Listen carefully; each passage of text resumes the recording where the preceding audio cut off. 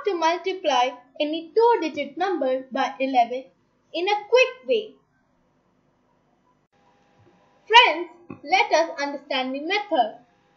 Here I am using xy as a two-digit number and I am going to multiply it with 11.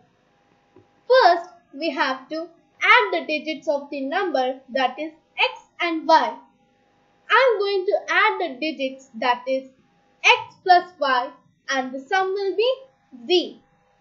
Next, we have to place the sum z in the middle of the original number that is z in between x and y and we get the product as x, z, y.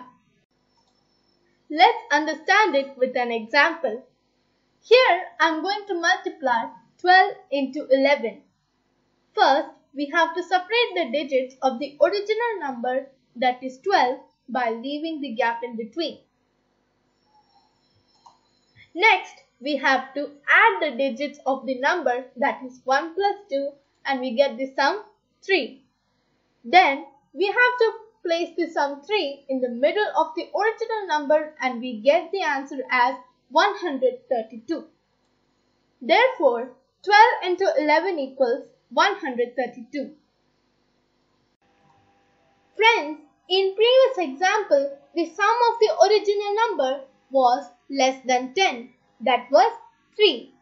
If the sum of the original number is more than 10, how can we multiply it with 11?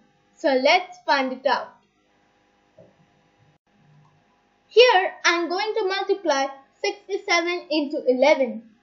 First, we have to separate the digits of the original number that is 67 by leaving the gap in between. Then, we have to add the digits of the original number that is 6 plus 7 that is equal to 13. As 13 is more than 10, we cannot place it in the middle of the number. So, we have to add the first two digits of the number that is 6 plus 1 that is equal to 7. Then, we have to replace it with 6. And we get the answer as 737. Friends, are some more examples to understand the concept. The first example is 12 into 11. The sum of the digits that is 3 must be placed in between the number and we get 132. 24 into 11. The sum of the digits 6 must be placed in between the number and we get 264. 32 into 11. The sum of the digits that is 5 must be placed in between the number and we get 352. 45 into 11. The sum of the digits that is 9 must be placed in between the number and we get 495. 53 into 11. The sum of the digits that is 8 must be placed in between the number and we get 583. If the sum of the original number is more than 10. 67 into 11. First, we have to add the digits of the number that is 6 plus 7 that is equal to 13. As 13 is more than 10, we cannot place it in the middle of the number. So we have to add the first two digits that is 6 plus 1 that is equal to 7. Then we have to replace it with 6. And we get 737.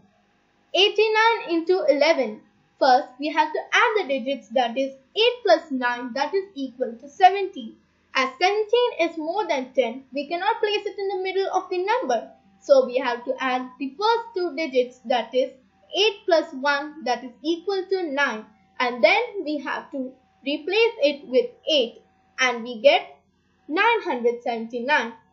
I hope you all have understood the concept. You.